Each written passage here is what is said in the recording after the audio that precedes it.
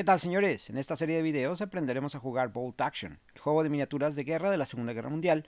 Las reglas de Bolt Action nos ofrecen un sistema de juego intenso en el que ambos bandos de jugadores están siempre inmersos en la activación de sus tropas y tanques compartiendo un mismo turno de batalla.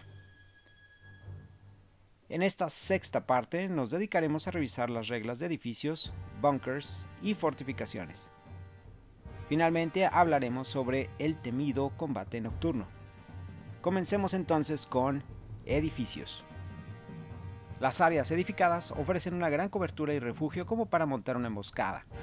Incluso un tanque se puede ver seriamente amenazado por infantería escondida dentro de un equipo antiblindaje de corto alcance. Ya hemos hablado sobre reglas de terreno como ruinas y paredes que pueden dar cobertura dura para unidades de infantería incluso a vehículos. En el caso de edificios, no es necesario que tus miniaturas de terreno tengan techos removibles, Ambos jugadores pueden acordar que la unidad de infantería imaginariamente está dentro y que puede utilizar puertas y ventanas como puntos de visión. Entrar a edificios. Solo unidades de infantería tienen permitido entrar a edificios durante el juego. Para poder entrar, una unidad debe recibir la orden de run o correr. Todas las miniaturas de la escuadra deben llegar a una pulgada o menos del edificio y cuando menos una miniatura debe ser capaz de llegar a un punto de entrada como sería una puerta o ventana. Este proceso es muy similar al de embarcarse en un transporte. Al entrar a un edificio, la unidad ocupa la planta baja de un edificio con múltiples pisos. Para términos de juego, la regla es que una unidad de infantería puede ocupar sin problema un piso de edificio. Edificios con múltiples pisos pueden esconder varias unidades. Es importante mencionar ahora que una unidad de infantería y de artillería pueden iniciar el juego dentro de un edificio. Unidades de artillería colocadas de esta forma no podrán moverse por el resto del juego. Salir del edificio. Las reglas para salir de un edificio son muy similares a las de desembarcar de un transporte. La unidad en el piso de abajo puede salir con una orden de run o de advance. La distancia se mide desde cualquier puerta o ventana del edificio. Una unidad que sale de un edificio puede hacer inmediatamente un asalto a una unidad enemiga que está afuera del edificio o incluso si está en un piso adyacente del edificio. Para este caso, la unidad enemiga no puede reaccionar al asalto. Sin embargo, una unidad enemiga que está afuera y a más de 6 pulgadas de distancia del edificio puede reaccionar. Para estos casos, el fuego de reacción se calcula como si la unidad atacante ya estuviera fuera del edificio sin el beneficio de la cobertura. Órdenes dentro del edificio. Unidades dentro del edificio deben recibir órdenes. Una orden de advance o avance puede ser utilizada para salir del edificio o bien para subir o bajar un nivel. Una orden de run Puede servir también para salir del edificio o para subir o bajar hasta dos niveles.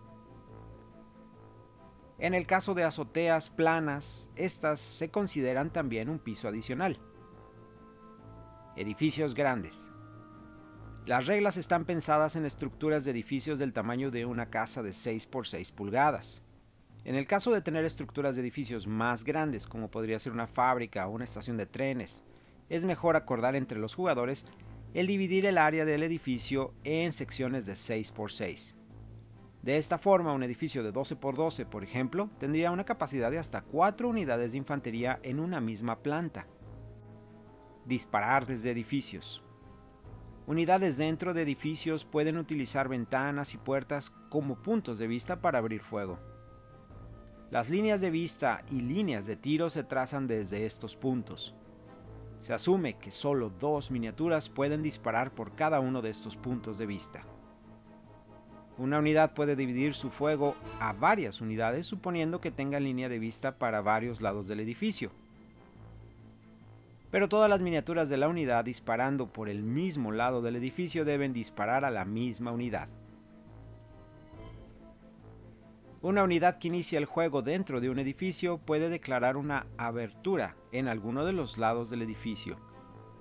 Este espacio sería lo suficientemente grande para que dos miniaturas puedan usarlo de punto de tiro o una unidad de artillería puede usarlo también como punto de tiro. Armas fijas. Estas armas pueden utilizar solo el arco de tiro que les permite la ventana o puerta en la que se inicia su activación. Al recibir una orden de advance, avanzar, o de run, correr, pueden cambiar de ventana o de piso. Fuego desde arriba. Las tropas que ocupan los pisos superiores y disparan a vehículos a 12 pulgadas o menos impactan al blindaje superior de un vehículo, y por lo tanto con un más uno en su penetración. Este beneficio lógicamente no se acumula al del mortero o un howitzer, por ejemplo, si consigue fuego indirecto. Disparando a unidades en edificios. Unidades equipadas con armas convencionales pueden disparar a unidades en el interior de edificios si tienen línea de vista a las ventanas o aberturas del piso ocupado por la unidad. El rango y línea de vista se calcula normalmente. A diferencia de los lanzallamas y armas convencionales, las armas pesadas no necesitan una línea de tiro o una abertura para poder disparar. Solo necesitan tener línea de tiro al piso ocupado por la unidad escondida en el edificio. Las tiradas se resuelven normalmente y la unidad adentro tiene cobertura dura. Protección extra. Cuando se dispara a infantería o artillería dentro de un edificio, tienen un más uno en sus tiradas de daño. Es decir, una unidad inexperta recibe daño de 4 o más en lugar de 3 o más. Una unidad veterana recibe daños con 6 o más. Estas reglas no afectan al combate cercano ni a armas como lanzallamas o HE, explosivos. Armas HE contra edificios. Las armas HE o de alto explosivo ignoran los beneficios de cobertura de una unidad en edificio y no necesitan disparar a una abertura. Para resolver la orden de disparo simplemente selecciona a la unidad dentro del edificio para hacer tu objetivo y en lugar de colocar un disco de impacto, consulta la tabla de daño HE en edificios. Esto te dará el número de impactos que la unidad podría recibir. Puede ser un dado de 3, un dado de 6, etc. Si la unidad enemiga no ha recibido una acción aún, podrá reaccionar con una orden de down o de tirarse al piso. Los beneficios de protección, como sería un escudo en el caso de artillería, no se aplican, pues el impacto llega desde arriba. Además, si el valor de daño del arma HE es de dos dados de 6 o más, el daño del arma es el suficientemente grande como para causar un colapso del edificio. Para estos casos, tira normalmente para calcular el número de impactos. Si el resultado total es de 10 o más, entonces el edificio es ahora ruinas y las unidades adentro son eliminadas. Se puede dar el caso también que el área de impacto de HE esté apuntada a una unidad que está afuera y parcialmente cubra un edificio. En este caso el edificio se ignora al momento de calcular el daño. Las unidades adentro están ilesas. Fuego indirecto contra edificios. Al calcular fuego contra una unidad en un edificio, mide el rango al edificio normalmente y al impactar tira un dado. En un resultado de 4 más, el impacto detona en la azotea. En un resultado de 1 a 3, el impacto penetra al piso inmediatamente abajo de la azotea. Si así sucede, tira un dado de 6 para ver si el impacto detona en ese nivel o continúa desplomándose hacia abajo, siguiendo la misma secuencia de tirada. De esta forma, si el impacto detona en un piso vacío, tira aún así por el número de daños como vimos con armas HE, pues si el daño es superior a 9 podría derrumbar el edificio. Lanzallamas contra edificios. Un lanzallamas solo se puede utilizar contra unidades en edificios si existe una ventana, puerta o abertura, por la cual el lanzallamas puede prender en llamas el interior del edificio. Al igual que con las armas HE, las tropas adentro y equipo de artillería no tienen protección a este tipo de daño. Si el lanzallamas se utiliza contra una unidad adentro del edificio, el edificio tiene una posibilidad de prenderse en llamas. Tira un dado. En un resultado de 4 más, el edificio se enciende y se considera impasable. Las unidades adentro deberán salir inmediatamente como lo harían al desembarcar de un vehículo inmovilizado. Piezas de artillería dentro del edificio en llamas son inmediatamente destruidas. Ataques aéreos a edificios. Para resolver un ataque aéreo a edificios sigue estos pasos. Un observador de ataque aéreo puede llamar a un ataque contra un edificio si puede trazar una línea de vista a él. Cuando el avión llega, los marcadores de pin son colocados normalmente midiendo distancias desde el edificio mismo. Después de que los pin markers se colocan, sigue el proceso de ataque indirecto al edificio normalmente.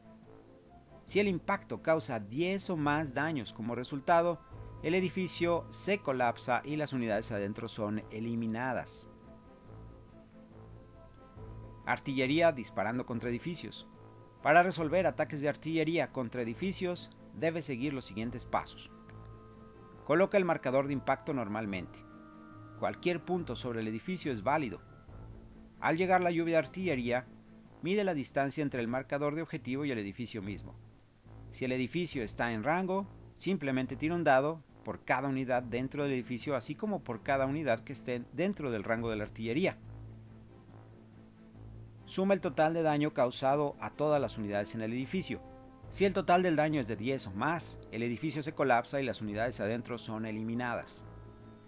Como nota final en disparos, un edificio vacío puede ser elegido para ser atacado. Asaltando edificios. Unidades fuera de un edificio pueden asaltar a unidades enemigas dentro del edificio. Mide la distancia de la unidad asaltante a cualquier punto de entrada que tenga el edificio. Estos podrían ser ventanas o puertas. La distancia del asalto debe ser suficiente para que una miniatura, por lo menos de la unidad, pueda llegar a un punto de entrada del edificio. El resto se resuelve como si fuera un asalto a una posición defendida. Unidades dentro de un edificio pueden asaltar a una unidad en pisos adyacentes como ya vimos. Estos ataques siempre se consideran ataques de sorpresa por lo que no se permiten disparos de reacción. Tanques asaltando edificios. Un vehículo pesado o superpesado puede intentar conducir a través de un edificio de madera o de ladrillo, de la misma forma que se embiste a otros tanques en asalto. La única diferencia es la capacidad de daño que el edificio tiene para resistir el impacto. Este valor se determina aleatoriamente. Un edificio de madera tiene dos dados de 6 de resistencia. Un edificio de ladrillo tiene tres dados de 6. El valor debe dar una idea sustancial de la resistencia del edificio. Otras estructuras como fortificaciones, trampas de tanques o construcciones de concreto no pueden ser asaltadas por tanques. Hablaremos de esto más adelante cuando hablemos de bunkers. Para calcular el daño que el tanque puede hacer a un edificio, deberás tirar un dado de 6 y sumar el valor de DV de tu tanque. Un tanque pesado tiene DV 10. Un tanque super pesado tiene 11. Si el resultado es mayor a la capacidad de daño del edificio o su DV, el edificio ha sido demolido. De lo contrario, el edificio resiste. En este caso, coloca el tanque justo frente al edificio y recibe una orden de down. Finalmente, si el tanque sobrevive el ataque, termina el movimiento del vehículo y coloca un pin marker adicional de la misma forma que lo harías con un tanque que sobrevive a una colisión. El edificio, al ser destruido, recibe el daño y efectos como si se resolviera un ataque de daño contra HE al edificio. Artillería en edificios. Unidades de artillería no pueden entrar a edificios durante la batalla, pero pueden iniciar el juego dentro de uno. Como consecuencia, el jugador va a elegir una abertura en el edificio para que sea el punto de vista y este no puede cambiarse. Una unidad de artillería, por lo tanto, no puede recibir órdenes de advance o de run. Bunkers. En esta categoría de edificios incluimos los edificios fortificados, fortines y naturalmente los bunkers. Todos ellos especialmente diseñados para proteger a los soldados de fuego enemigo. Los bunkers siguen las reglas que tienen los edificios, pero con las siguientes excepciones. Los bunkers solo pueden ser accesados a través de sus puertas. Modelos en el interior solo pueden disparar utilizando los orificios de disparo y no a través de las puertas. Esto aplica tanto para armas pesadas como armas convencionales. Número 2. Es extremadamente difícil el impactar tropas dentro de un búnker a través de sus orificios de disparo, por lo que al disparar contra una unidad adentro a través de estos orificios, el modificador de cobertura que tienen es de menos 4. Esto hace que los lanzallamas sean el arma perfecta en estos casos, ya que ignoran estos modificadores de cobertura. Número 3. Armas HE no son muy efectivas contra bunkers dado el grosor de las murallas que conforman el búnker. Al disparar armas HE contra el búnker, procede normalmente con los pasos para impactar, pero después de colocar los marcadores de pin que hayas logrado infligir en la unidad impactada, no hagas tiradas para dañar. Tira sin embargo para ver el número de impactos que sufrirá la unidad. Si el búnker sufre 12 o más impactos de armas HE, este se colapsa y es destruido junto con las unidades que estén refugiadas dentro. Tanques no pueden asaltar búnkers sin importar qué tan pesados sean. Unidades en búnkers sufren marcadores PIN adicionales por ataques causados por bombardeo de artillería o ataques aéreos. Aún así, estas unidades no sufren daño. Al igual que con armas HE, si el búnker recibe 12 daños o más por este tipo de ataques, el búnker es destruido. Llegó el momento de dejar atrás la relativa seguridad de las cuatro paredes y adentrarnos a la oscuridad. Pelea nocturna. Al hablar de pelea nocturna, no solo estamos hablando de una situación de enfrentamiento que tenga lugar en las horas de la noche, también estamos incluyendo en estas reglas a los enfrentamientos que se dan con visibilidad limitada. Ejemplos de estas condiciones serían las tormentas de arena o de nieve, neblina espesa y cosas similares. No importa qué tipo de escenario estás jugando, siempre puedes acordar con tu oponente el jugar el escenario utilizando reglas de pelea nocturna o no. Como advertencia, debes saber que estas reglas suelen alentar un poco el avance del juego y agregan un cierto nivel de complejidad extra a tu experiencia del juego.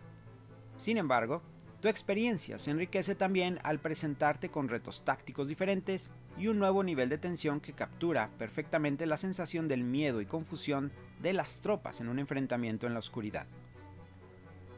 Al tomar la decisión de incorporar estas reglas en tu partida, puedes escoger si se tratará de un escenario con visibilidad reducida durante todo el juego, o alternativamente puedes decidir que sea un juego de asalto al amanecer, el día más largo, o bien un escenario de bengala, en una partida de asalto al amanecer, el juego comienza con las reglas de visibilidad reducida activas, pero conforme el juego cambia de turnos, deberás tirar un dado al principio de cada turno después del primero y sumar el número del turno al resultado de tu tirada en el dado. En un resultado que sume 8 o más, las reglas de visibilidad limitada inmediatamente dejan de tener efecto y la visibilidad regresa a la normalidad por el resto de la partida. En un escenario de día más largo, la visibilidad inicia normal, pero al inicio de cada turno a partir del segundo, se tira un dado y el resultado de la tirada se suma al número del turno que está iniciando. Si el resultado es de 8 o más, las reglas de visibilidad limitada comienzan a tener efecto a partir de ese momento y se mantienen por el resto de la partida. Finalmente, en un escenario de bengala, la acción toma lugar en la noche con las reglas de visibilidad limitada activas. Debes tirar un dado al inicio de cada turno después del primero. En una tirada de 4 más, una radiante bengala es disparada al cielo y la visibilidad se torna normal pero solo por ese turno. Se debe volver a tirar al inicio de cada turno durante el resto del juego para saber si se aplica o no esta regla durante cada turno. Este escenario de bengala también puede ser utilizado con tormentas o neblina. Durante el turno que no haya efectos de visibilidad limitada, es porque la neblina se despejó momentáneamente o la tormenta se calmó lo suficiente como para que no haya penalidades durante ese turno. Visibilidad reducida. Cuando estés determinando si una unidad puede o no tener línea de vista a su objetivo en la oscuridad, primero debes seguir las reglas de línea de vista normales. Si el objetivo debería de ser visible, comienza entonces el proceso normal de disparo o asalto y declara tu objetivo. Pero antes de llegar al paso en el que el objetivo reacciona, debes hacer una tirada de avistamiento. Y esto es para tu unidad y saber si puede en realidad identificar al objetivo en la oscuridad. Tira dos dados de 6 y aplica modificadores. Los modificadores no pueden ser modificados para lograr un total menor a 2. Si el total después de modificadores es igual o más alto que la distancia entre el atacante y el objetivo, entonces el objetivo sí puede ser identificado y continúa con la acción de disparo o de asalto. Por otro lado, si el resultado es menor a la distancia entre ambas unidades, la unidad atacante no puede disparar o asaltar al objetivo, y la acción termina inmediatamente. En cuanto al dado de acción de esa unidad, se deja tal cual como está, mientras que la unidad busca nerviosamente en la oscuridad por otros objetivos. Modificadores de visibilidad. Los modificadores que veremos a continuación se aplican solamente a las tiradas de avistamiento que necesita lograr una unidad que pretende ver a un objetivo bajo condiciones de visibilidad reducida. El valor de los modificadores y de la tirada de avistamiento están dados en pulgadas. Todos estos modificadores son acumulativos. Si el objetivo ya tiene un dado de orden, ya sea de fuego, avance, correr o de rally, suma 6 a la tirada. Si el objetivo tiene un dado de orden de down o está pecho tierra, resta 6 a la tirada.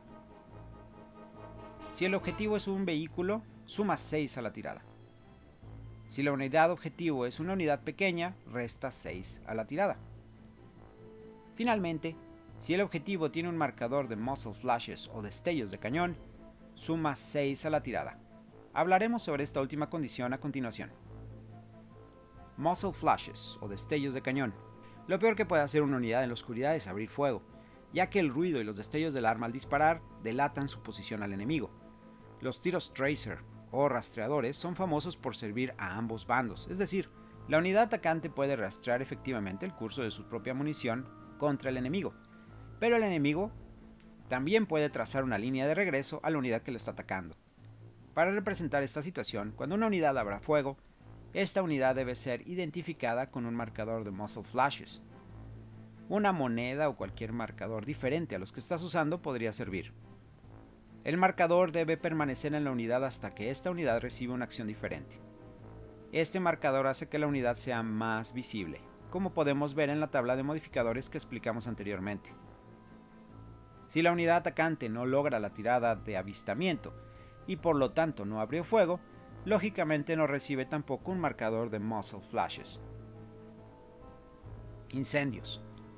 Vehículos o edificios encendidos en llamas iluminan un área sorprendentemente grande en la oscuridad.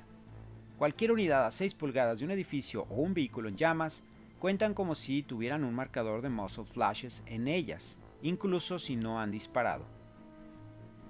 Reaccionando a un asalto.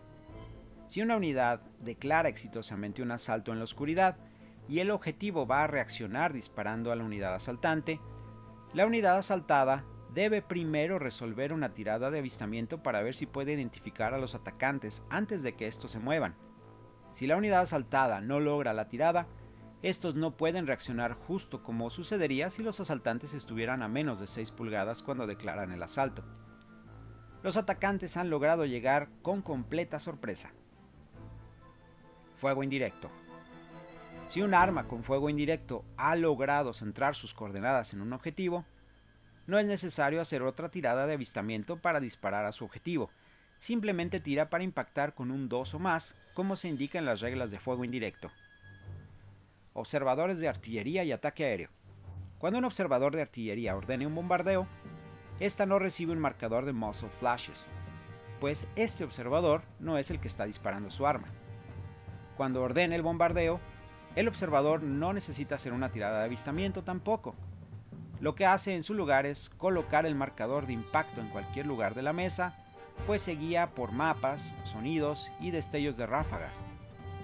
Sin embargo, para simular la posibilidad de que algo salga mal gracias a la baja visibilidad, el atacante sufre un menos uno en la tabla de bombardeo de artillería y de humo. Aún así, el resultado no puede ser menor a 1 en la tabla, en cuanto a ataques aéreos, estos no pueden ser llamados durante la noche a no ser que el escenario específicamente lo permita. Con esto hemos cubierto las reglas de enfrentamientos nocturnos, edificios y bunkers. Si se sienten valientes y dispuestos a tomar retos, intenten modificar algunos de los escenarios publicados por Warlord Games, agregando reglas de combate nocturno y descubrirán que la experiencia de juego cambia dramáticamente. Gracias por acompañarnos, vemos en el siguiente video.